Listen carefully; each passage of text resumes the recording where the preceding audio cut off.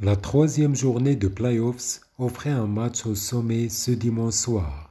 Anderlecht, deuxième avec 35 points, accueillait en effet l'Union Saint-Gilloise qui était leader avec 35 points, mais devant au classement grâce à l'avantage de l'arrondi.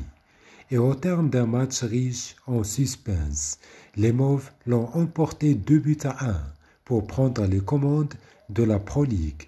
Quant aux Saint-Gillois, il enchaîne une troisième défaite en autant de matchs depuis le début des playoffs. Le début de match est en tout cas très rythmé, avec énormément d'intensité.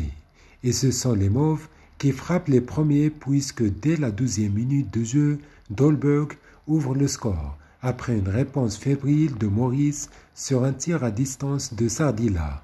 Mais à la 45e minute, Torgan Hazard quitte la pelouse après s'être tordu le genou.